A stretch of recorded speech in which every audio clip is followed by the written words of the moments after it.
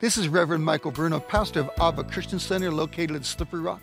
It's our passion for you to come to know the heart of God, the love that is inside the heart of God, the love that caused Him to send His only begotten Son to die for you.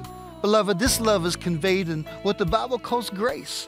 Grace is unmerited favor according to the scripture of Ephesians 2 8 and 9. It's that which causes God to favor you even when you're not worthy of it, and I'm not worthy of it. Grace is also divine ability.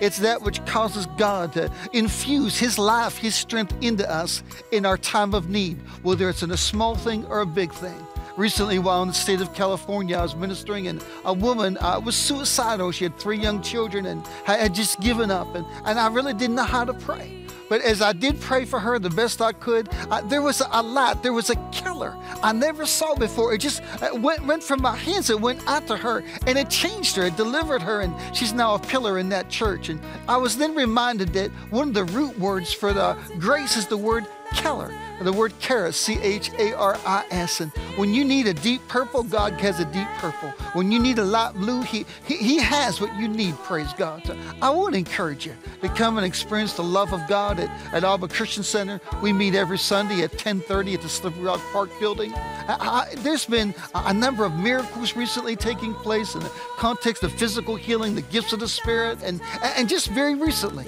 someone was uh, coming to the entrance of the church building and while we were worshiping, they heard uh, uh, the heavenly choir. They, they heard that the angels of God just in mass singing, and they're all sopranos. And uh, uh she came into the building, just grabbed the microphone, and said, The heavenly choir is joined in as you're worshiping.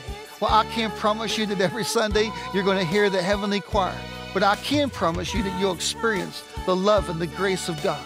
God is truly up to something, and I want you to come and be a part of it to His glory to His honor and to His praise.